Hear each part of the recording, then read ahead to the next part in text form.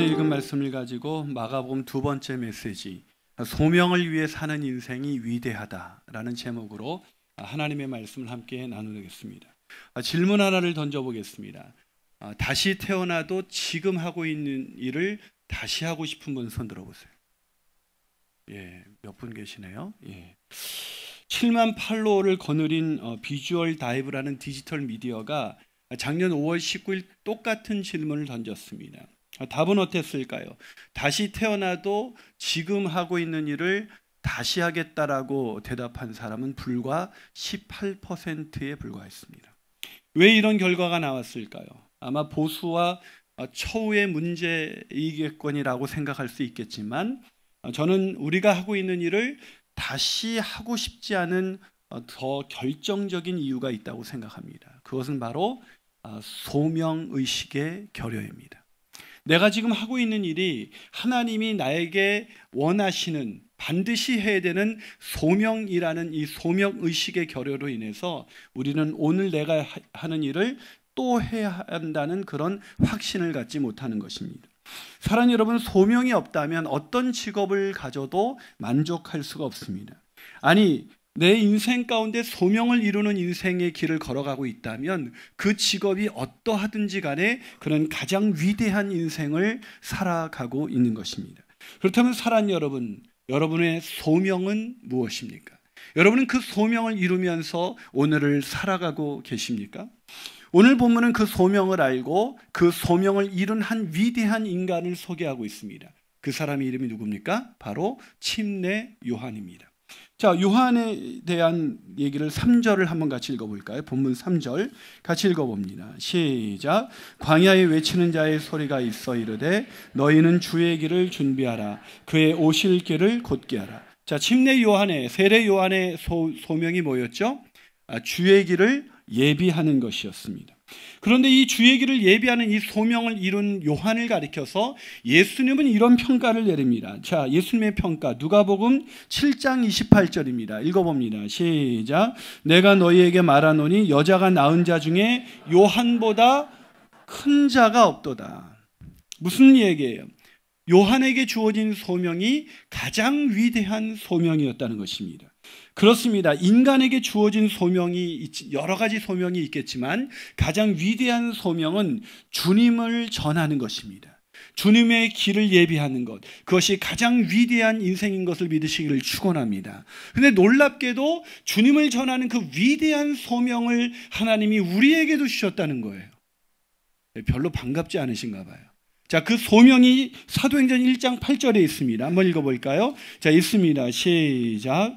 오직 성령이 너희에게 임하시면 너희가 권능을 받고 예루살렘과 온 유대와 사마리아와 땅끝까지 이르러 내 증인이 되리라.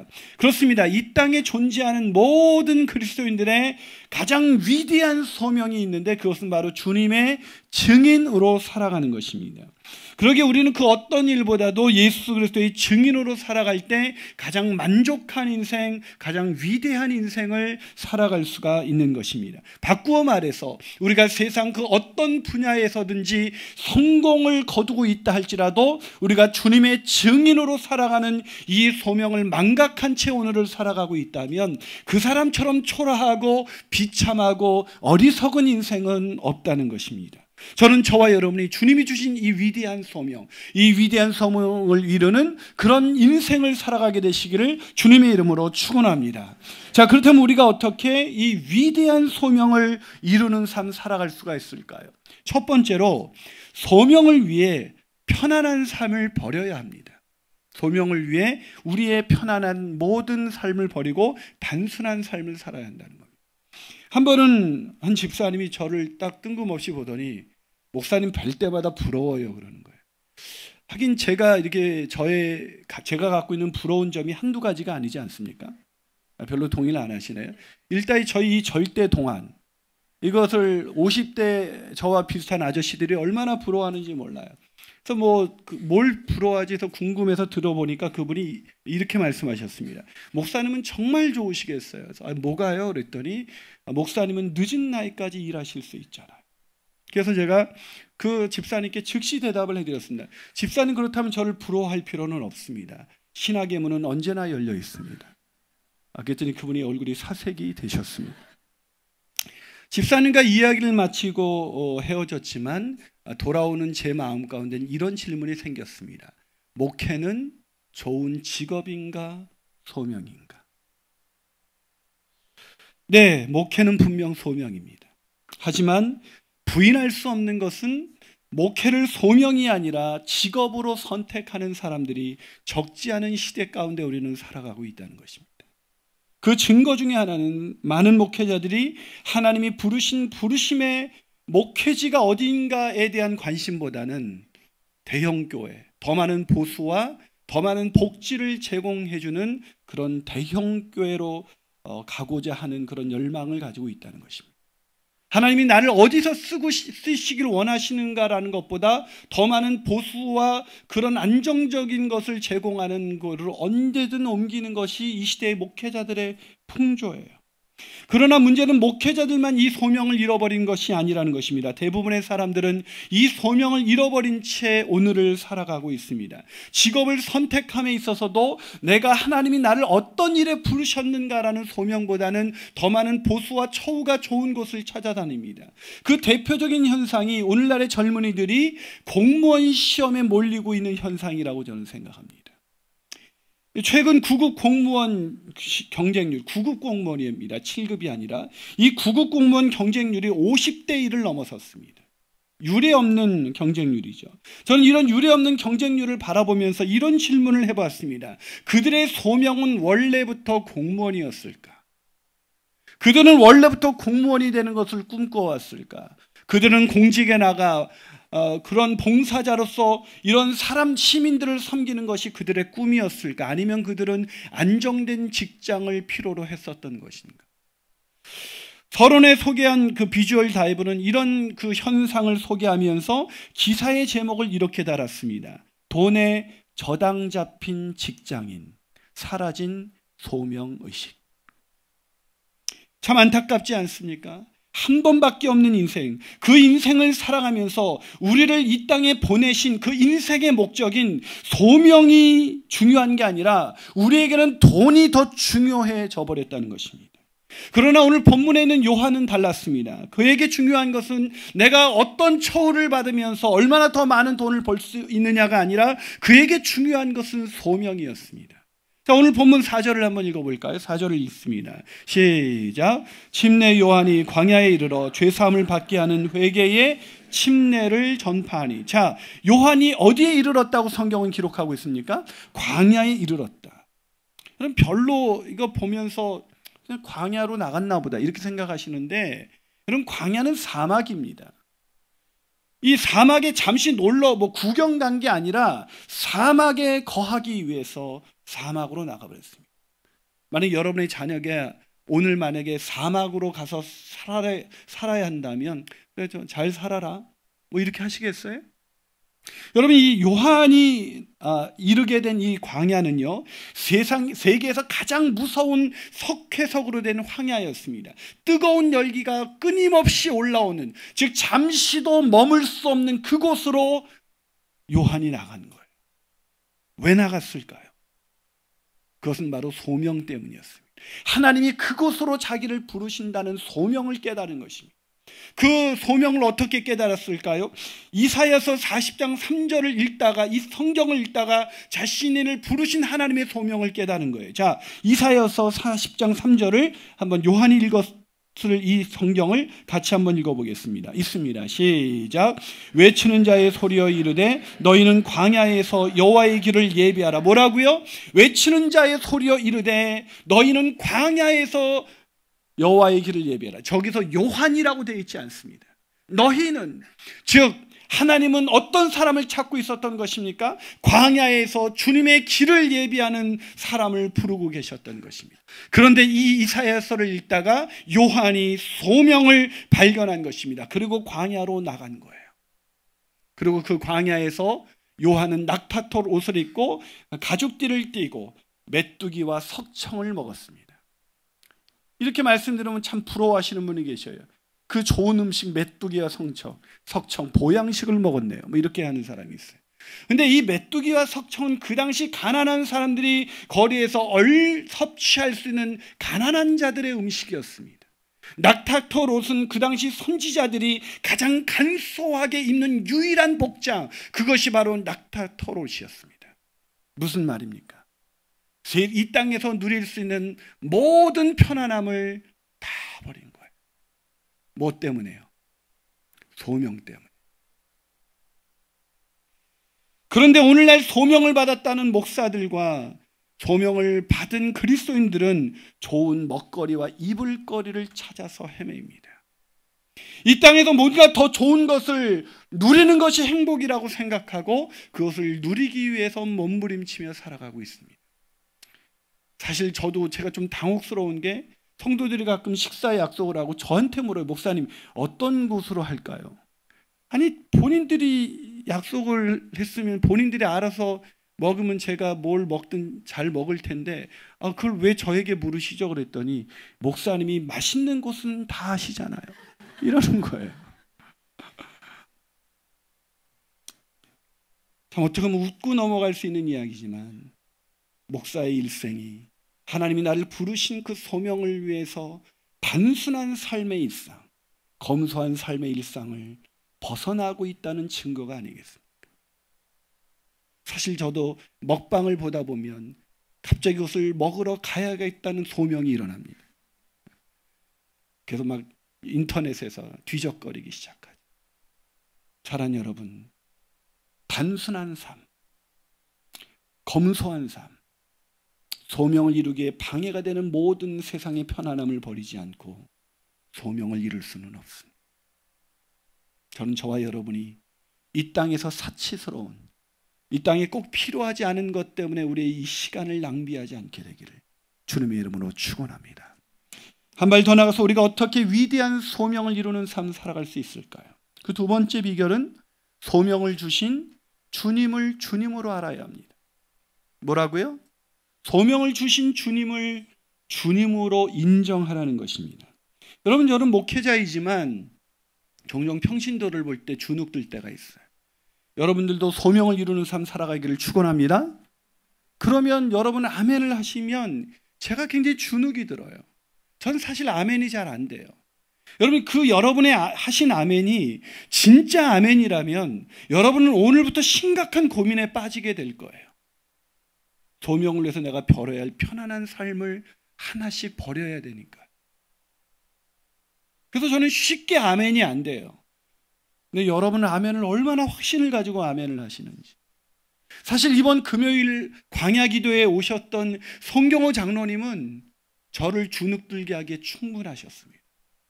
그분은 어느 날 소명을 발견했습니다. 자기를 전도자로 부르신 주님의 증 주님의 증인으로 부르신 이 소명을 발견하고 이분이 그 복음을 증거하기 위해서 목사님이 여러분 30명은 전도해야 됩니다. 늘 강조하시길래 그 소명을 발견하고 응답해야겠다 이런 마음으로 앉아 있는데 목사님 300명 헌, 그 전도할 분 손 드세요. 그런데 이분이 30명을 늘 강조해 왔으니까 30명인 줄 알고 손을 드신 거예요. 근데 옆에 있는 아내가 여보 300명이에요. 정신을 차렸을 때 이미 손을 들었을 때였습니다. 근데 이 손을 들고 나서 이분이 마음속에 강권하시는 하나님의 소명을 발견하고 300명을 전도하려고 하니까 이게 뭐 일과 끝나고는 이게 안 되는 거예요. 그래서 이 사람이 고민 고민하다가 이거는 사업을 잠시 한 달이라도 좀 쉬어야 이 전도를 할 수 있겠다. 한 달을 쉴 고민에 빠져 버렸다는 한 달을 쉬려고 이렇게 쉴 고민을 하고 있는데 사실은 그게 뭐 이분이 인쇄소를 하고 계시는데 어떻게 한 달을 쉬면 뭘 먹고 살 수 있겠어요? 고민을 하는데 이분의 친구가 교통사고를 당해서 6개월 동안 병원에 꼼짝없이 입원을 하게 돼서 6개월 동안 그의 가게를 할 수 없게 된 없게 돼서 그곳을 이렇게 병문안 갔다가 돌아오게 됐습니다. 근데 돌아오는데 하나님이 그 생각을 들게 하더래요. 하나님이 우리를 지켜주지 않으면 내가 일하고 싶어도 6개월 동안 문을 닫아야 하는 것이 사업을 접어야 되는 것이 인생인데 하나님의 나라를 위해서 한 달 쉴 수 있지 뭐. 그리고 결단하고 아내와 한 달을 쉬고 전도하기 시작하는 거예요. 여러분 이게 말이 돼요? 이분이 계속해서 간증을 하는데 그 접촉자 선물을 받기 위해서 우리 만 원짜리 투자하는 것도 때로는 고민을 하게 만드는데 그 당시 아파트 한 채 가격이 900만 원 할 때였대요. 이분이 전도할 때. 그 소명을 받을 때. 근데 그 전도 대상자를 위해서 600만 원을 사용해. 이해할 수 없는 그들의 헌신을 볼 때 참 나는 도대체 소명을 위해서 어떤 인생을 오늘 살아가고 있는가라는 질문을 갖게 될 때가 한두 번이 아닙니다.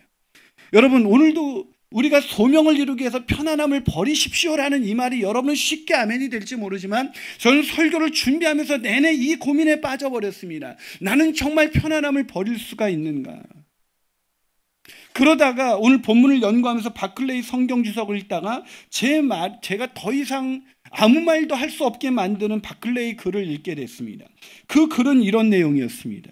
요한은 자신의 메시지를 실천하는 사람이었다.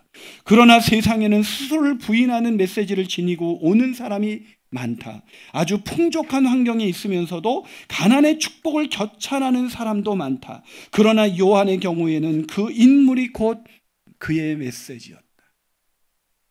무슨 말입니까? 그렇습니다. 소명을 이루기 위해서는 편안한 삶을 버려야 합니다라는 설교 한 번쯤 안 해본 목사가 없습니다. 그러나 정작 편안한 삶을 버리는 목회자가 이 땅에 찾아볼 수 없는 시대가 되어버렸다는 겁니다. 말은 뻔지르르게 하지만 그 말을 전한 것처럼 그 소명을 위해서 오늘 편안함을 버린다는 것이 결코 쉽지 않다는 거지. 여러분 뭐 다른 사람 말할 것이 없습니다. 바로 제가 그런 사람이죠. 대표적인 인간이죠. 아마 그거는 사람 마음 다 똑같지 않아요. 여러분은 안 그래요? 사람 마음 다 똑같지 않습니까? 좀 더 편하고 좀 더 좋은 거 누리고 싶은 게 다 사람 마음이잖아요. 요한도 마찬가지였을 거예요. 요한은 원래부터 광야 체질인 게 아니에요. 요한도 우리와 똑같이 편안한 일상을 살아가고 싶었던 사람이 있을 텐데 그는 어떻게 주님의 부르심 앞에 단숨에 그 소명에 응답하여 광야로 뛰쳐나가 세상의 그 편안한 일상을 다 버리고 살아갈 수가 있었을까요? 그것은 자신에게 소명을 주신 분이 어떤 분이신지를 알았기 때문입니다. 자, 요한에게 소, 주님은 어떤 분, 예수님은 어떤 분이셨을까요? 자, 본문 7절에 그 단초가 있습니다. 자, 본문 7절을 한번 읽어봅니다. 있습니다. 시작. 그가 전파에 이르되 나보다 능력 많으시니가 내 뒤에 오시나니 나는 굽혀 그의 신발끈을 풀기도 감당하지 못하겠노라. 여러분 요한이 예수님을 뭐라고 소개하고 있습니까? 나보다 능력 많으신이라고 말해요. 여러분 이게 감이 안 오죠? 그래서 이분이 자기에게 어떤 분인지를 설명하기 위해서 나는 굽혀 그의 신발끈을 풀기를 감당할 수 없다라고 말합니다. 여러분 이게요 무슨 뜻인지 이해하려면 그 시대의 문화를 알아야 됩니다. 여러분 이건 사막이었기 때문에 먼지가 많이 나고 비가 오면 진흙이 묻기 때문에 이 사람이 집에 들어가면 반드시 종들이 와서 그 가죽 샌들로 돼 있는 그 가죽 샌들로 끈을 풀어주는 그런 종들이 있었어요. 그 샌들의 그 가죽끈을 풀어주는 이 종은 이 종들 중에서도 가장 비천한 종이었습니다. 그런데 지금 요한은 그 예수님의 신발끈을 그 샌들의 끈을 풀기도 감당할 수 없는 가장 비천한 종이 할 수 있는 그 일도 할 수 없는 나는 종 중의 종입니다. 그렇게 고백하고 있는 거예요. 여러분, 우리는 정말 주님의 주대심을 정말 인정하고 있습니까? 무슨 말입니까? 요한은 지금 음, 엄청난 사람이에요. 여러분 요한이 어떤 이런 고백을 한다는 게 이해가 안 됩니다. 여러분 요한이 침례를 준 사람이 몇 명이에요? 본문 5절을 보면 온 유대 지방과 예루살렘 사람들이 다 나가서 요한에게 침례를 받았대요. 학자들의 말에 의하면 30만 명이 받았대요. 여러분 30만 명, 그 온 유대와 예루살렘에 있는 모든 사람들이 존경하는 사람, 그 사람이 바로 요한이었다고요. 그런데 그런 요한이 예수님 앞에 자기를 어떻게 낮춥니까? 나는 비천한 종보다도 못한 인간입니다. 나의 주님은 오직 그분이십니다. 그렇습니다. 요한이 그런 이제 좀 편안하게 살 법 또한 이제 그 정도 영향력 있는 목회자가 되었으면 이제 어느 정도 편안함을 누릴 수 있었던 그 요한이 광야로 뛰어들어가서 그렇게 메뚜기와 석청을 먹으면서 그렇게 시간을 보낼 수 있었던 것은 자기를 부르신 분이 다른 분이 아니라 자신의 주님이라는 그런 철저한 인식이 있었기 때문입니다. 사랑 여러분, 주님을 주님으로 인정하는 사람만이 주님이 말씀하시면 나갈 수 있는 것이고 주님이 멈춰서라면 멈춰설 수 있는 것입니다. 주님의 주님 되심을 인정하시는 저와 여러분이 되시기를 주님의 이름으로 축원합니다. 마지막으로 우리가 어떻게 위대한 소명을 이루는 삶 살 수가 있을까요? 그것은 소명을 주신 주님의 헌신을 깊이 깨달아야 합니다. 여러분, 아무리 예수님이 나의 주님이시다는 것을 인정한다고 해도요, 그 주님이 너무 내가 감당하기 힘든 명령을 내리시면, 부르심을 하시면 그 부르심에 응답한다는 건 쉬운 일이 아닙니다. 예를 들면 예수님이 요한, 뭐 하나님이 요한에게 너 사마리아로 가라. 뭐 이 정도는 뭐 해 드릴 수 있지 않겠습니까? 그런데 광야로 가라니요. 사람이 살 수 없는 곳으로 가라니요. 그거는 있을 수 없는 일입니다. 요한이 뭐 못난 사람입니까? 30만 명에게 영향력을 줄 수 있는 그런 잠재력이 이미 있었던 사람입니다. 이런 사람에게 아무도 알아주지 않는 그 광야로 들어가서 오늘 숨쉬기 어려운 그 자신의 목숨을 내걸고 거기에서 광야에 외치는 소리가 돼서 주님의 길을 예비하나요. 그거는 말도 안 되는 거예요. 근데 여러분 요한은 어떻게 그것이 가능했을까? 여러분 제가 이번 주 설교를 준비하면서 얼마나 힘들었는지 아십니까? 본문이 해석이 안 됐기 때문이 아니에요. 이 똑같은 소명을 발견했는데 요한이 보여준 삶의 헌신과 제가 보여주는 삶의 헌신에는 커다란 간극이 있다는 것입니다. 아니 너무나 판이하게 다른 인생을 오늘 살아가고 있, 다는 것이 나로 하여금 오늘 이 강단에 나, 나를 설 수 있는 자신감을 상실해 버리게 만들었습니다. 똑같은 소명을 발견했는데 그래서 제가 이런 질문을 던졌습니다. 나는 정말 예수님을 내 인생의 구주와 주님으로 영접했는가? 내 아무리 생각해도 내 구주는 주님이시고 나의 주인은 주님이시라고 나는 고백할 수밖에 없습니다. 그런데 왜 나는 요한처럼 살지 않는가? 왜 난 요한처럼 헌신하기를 두려워하는가? 왜 세상의 편안함을 버리지 못하고 오늘 그것을 붙들고 오늘을 살아가고 있는가? 그때 제가 얻은 대답은 나는 주님의 헌신을 깊이 깨닫지 못하고 있었다는 거예요. 요한이 그런 헌신에 이를 수 있었던 그 비밀을 오늘 본문에서 발견하게 됐습니다. 그 비밀이 본문 9절입니다. 자, 본문 9절을 한번 읽어볼까요? 있습니다. 시작. 그때 예수께서 갈릴리 나사렛으로부터 와서 요단강에서 요한에게 자, 여러분 이 구절은 정말 이해하기 힘든 구절이에요. 누가 침례를 누구에게 받았다고요? 예수님이 요한에게 침례를 받았습니다. 거꾸로 된 거 아니에요? 요한이 예수님에게 침례를 받아야 되죠. 게다가 요한이 베푼 침례는 어떤 의미의 침례였습니까? 회개의 침례였습니다. 죄 있는 사람이 받는 것이었습니다. 근데 죄가 없으신 예수님이 왜 회개의 침례를 받으셔야만 했을까요? 그 이유는 바로 마가복음 10장 45절에 있습니다. 자, 마가복음 10장 45절 한번 읽어 볼까요? 있습니다. 시작. 인자가 온 것은 섬김을 받으려 함이 아니라 도리어 섬기려 하고 자기 목숨을 많은 사람의 대속물로 주려 합니다. 왜 예수님께서 죄가 없으신 예수님께서 침례를 받으셨다고요? 그것은 우리의 우리를 죄를 대신 지시기 위해서 즉 대속물로 이 말을 바꿔 볼게요.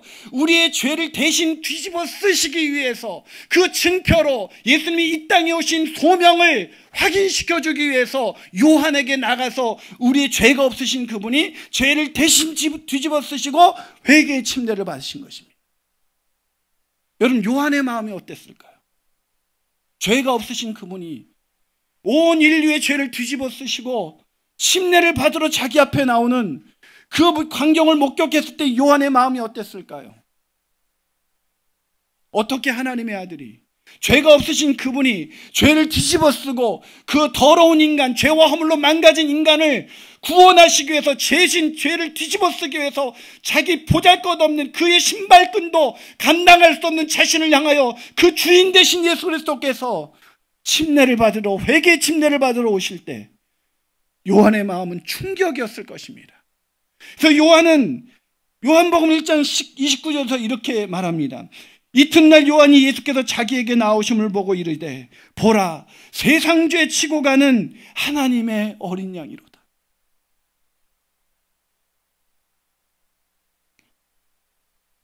요한은 요한도 힘들 때가 있었을 거예요. 우리도 목회하면서 왜 힘들 때가 없었겠어요? 목자로 살아가면서 소명을 이루면서 살아가는 인생이 왜 고단함이 없었겠습니까? 그런데 그 고단함이 딱 사라지게 만드는 사건이 일어났습니다. 요한도 고단하고 내가 광야에서 언제까지 광야에 외치는 소리로 주님의 길을 예비하는 인생을 살아야만 하는 것일까? 라는 생각을 일때 자기 앞에 등장한 그 하나님의 아들, 자기가 신발끈도 풀 수 없는 그 위대하신 하나님이 자신의 죄를 뒤집어 쓰기 위해서 침례받으러 오시는 그 광경 앞에 맞닥뜨려 섰을 때 그런 자신이 하고 있는 헌신은 아무런 헌신이 아니라고 느껴지기 시작한 겁니다. 사랑 여러분, 왜 우리는 여전히 헌신이 무섭고, 왜 우리는 편안함을 버리는 것에 주저하게 되고, 왜 우리는 하나님의 나라를 위해서 부르신 이 소명을 등한시하고 살아가는 것일까요? 우리를 위해서 이 땅에 오신 예수님의 소명, 우리의 죄를 대신 뒤집어 쓰시기 위해서 오신 예수님의 소명, 그 소명을 이루신 주님의 헌신이 우리의 마음에 느껴지지 않기 때문에. 엄마가 나를 위해서 한 헌신을 한다면 그 엄마를 편안히 모시고 자기가 그 길을 걸어가는 아들처럼 요한은 자신의 신들매도 감당할 수 없는 그 주님의 헌신 앞에서 오늘 그 소명을 기쁨으로 감당할 수 있는 그런 인생이 되어버린 것입니다. 사랑 여러분, 이 소명자로 우리도 살아가야 지 않겠습니까? 설교 준비를 마치고 원고를 정리하면서 제가 마지막으로 무거운 마음으로 이 질문을 던졌습니다. 나는 소명을 위해서 사는 사람인가? 아닌 좋은 직업을 가진 사람인가? 그때 제가 신학교 시절에 읽었던 존 파이퍼의 형제들이여. 우리는 전문 직업인이 아닙니다라는 책이 떠올랐습니다. 목회자들에게 쓴 책이에요. 존 파이퍼라는 목사님이. 형제들이여. 우리는 전문 직업인이 아닙니다. 그러면서 그 책에서 읽었었던 내용을 다시 펼쳐봤습니다. 그 내용은 이렇게 쓰여져 있었습니다. 우리는 그리스도를 위하는 어리석은 자들이다. 그러나 전문 직업인은 지혜롭다. 우리는 약하다. 그러나 전문 직업인은 강하다. 전문 직업인은 존경을 받는다. 그러나 우리는 조롱을 받는다. 우리는 전문 직업인의 생활 방식을 확보하려 애쓰지 않으며 오히려 줄이고 목마르고 헐벗고 집도 없는 자로 살아갈 준비가 되어 있다. 이 부분을 읽으면서 제가 소명의 길에서 많이 벗어나 있다는 것을 알게 됐습니다. 제가 세연 엄마한테 프로포즈 할 때 그랬어요. 나랑 결혼하면 평생 원룸에서 살 수 있습니다. 그래도 나와 결혼하시겠습니까? 전 진짜 그렇게 살아갈 마음이었습니다. 나를 사랑하사 나를 위하여 자기 아들을 아낌없이 내어주신 그리고 이 땅에 오신 주님의 소명을 발견한 제 마음 가운데 나도 그렇게 살아야지. 주님의 증인으로서 평생을 살아야지 하는 소명이 있어서 신학교를 갔습니다. 그런데 어느덧 대형 교회에서 남부럽지 않은 그런 목회의 길에 들어서면서 저는 것을 축복이라고 생각했고 거기에 매우 익숙해지면서 그 익숙하고 편안한 제 일상은 나를 위해서 이 땅에 오신 주님의 헌신을 망각하게 만들어 버렸습니다. 그리고 오늘 저는 제 편안함을 잃을까봐 두려워하면서 그 편안함을 잃지 않으려고 몸부림치면서 오늘을 살아가고 있습니다. 가장 초라한 인생. 그것은 소명 없이 잘 나가는 인생입니다. 그러나 가장 위대한 인생. 요한처럼 광야에서 입는 옷 하나 낙타토로밖에 없고 메뚜기와 석청만을 먹어야 하는 인생이지만 오늘 소명을 향해서 그 인생의 길을 걷고 있다면 그 사람처럼 위대한 사람은 없습니다. 그런 인생을 걸어가십시오. 기도하시겠습니다.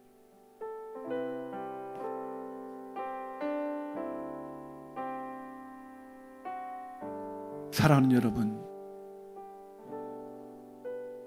모든 인간에게는 소명이 있습니다. 한 번밖에 없는 인생, 더 많이 누리고, 더 많이 먹고, 더 좋은 것 입고, 그렇게 살다가 가라고 보내어진 인생이 아닙니다. 아마 더 많은 것을 누리며 이 세상을 살았던 사람은 인생의 끝자락에서 자기가 누려왔던 것을 부끄러워하게 될 날이 올 것입니다. 그러나 가난하지만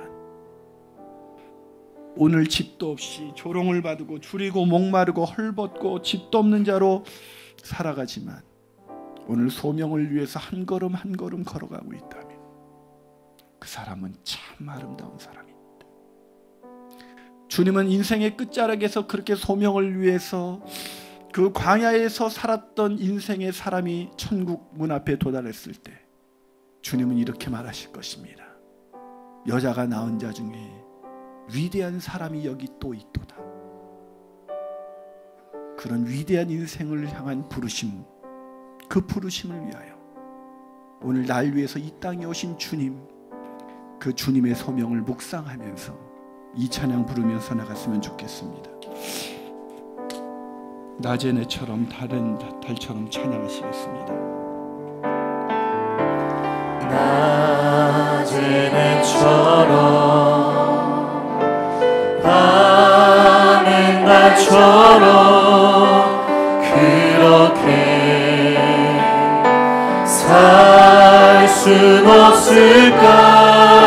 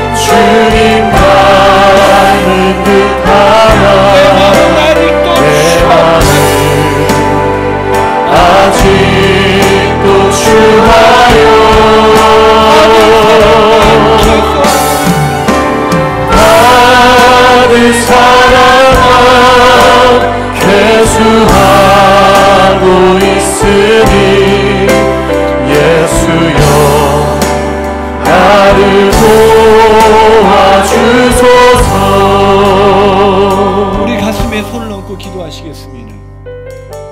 여러분 목회자들이 저와 같은 목회자들이 소명에서 벗어났다는 것은 세상이 다 아는 사실입니다. 처음부터 그런 것은 아니었을 텐데 처음에 자기를 부르신 그 부르심 앞에서 예수님을 위해서 한평생 살아보겠다고 들어선 길인데 어느덧 세상이 편안함이 부러워서 하나님이 주신 그 축복을 누리다 보니 어느덧 그것이 길들여져서 그것을 잃어버릴까 전전긍긍하면서 입술로는 편안한 삶을 버리십시오라고 설교하지만 자기 편안한 일상 단 한 가지도 버리지 못한 채 오늘 남들처럼 누릴 거 다 누리고 살아가고 싶은 그 욕망이 저에게 왜 없겠습니까? 아니 요한에게 그런 욕망이 바울에게 왜 없었겠습니까? 아니 인간으로 오신 예수님에게 그 욕망이 왜 없었겠습니까? 그러나 그들에게 중요한 것은 소명이었습니다. 하나님이 나 같은 것을 불러주셔서 이 세상에 빛도 없이 이름도 없이 살아가는 사람들에게 주님의 증인으로 되라고 우리를 부르시지 않았겠습니까? 그런데 이 가을에도 그 사람들 향해서 이 한마디 찾아가서 말하지 못하는 우리의 이 과묵함은 도대체 뭡니까?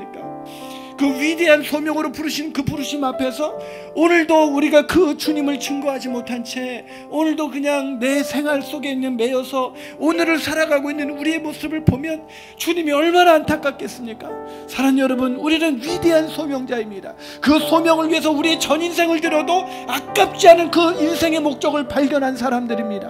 아버지 하나님 그 소명을 위해서 내 인생을 드리게 하여 주시옵소서. 그 소명 가운데 내가 편안함을 오늘 다 버릴 수 없게 없겠지만 하나님 내가 너무나 길들여져서 다 버릴 수 없겠지만 하나님 하나씩 버리, 버리고 포기할 수 있도록 주님 나를 붙들어 주시옵소서. 그래서 주님 나를 통하여서 주님 하나님의 나라가 확장되는 놀라운 인생을 그렇게 살아내볼 수 있도록 주님 역사하여 주시옵소서. 아멘. 우리 간절한 마음으로 함께 통성으로 기도하시겠습니다. 아버지 하나님 아버지 하나님 오 주님 아버지 하나님 주님 세상이 아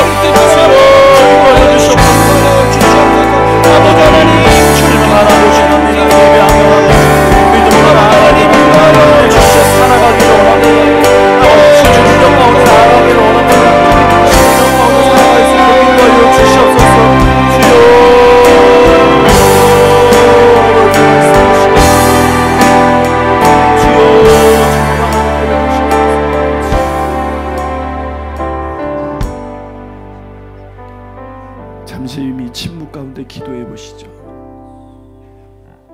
여러분은 왜 사세요? 다시 태어나서 하고 싶은 일이 뭐예요? 다시 태어났으면 결코 포기하지 않고 해야 될 그 일. 그 일을 위해서 인생을 마음껏 허비하십시오. 세상의 먹거리와 즐거움을 찾아다니라. 그렇게 벌어진 인생의 길 속에서 우리는 소명의 길을 걸어갈 수가 없습니다. 하나님, 내가 이 소명을 위해서 자신의 인생을 다 드리는 기쁨을 누렸던 요한처럼 바울처럼 아니 예수님처럼 그렇게 살아갈 수 있는 복된 인생이 되게 하여 주시옵소서. 주님, 세상의 허탄한 것 좀 더 누려볼 욕심 때문에 오히려 이 소명을 등한시했었던 우리를 용서해 주옵시고 이 가을에 우리가 반드시 이 복음을 전해야 할 사람들에게 그들에게 교회를 가자고 그들에게 예수님을 소개하는 복된 인생이 되게 하여 주시옵소서.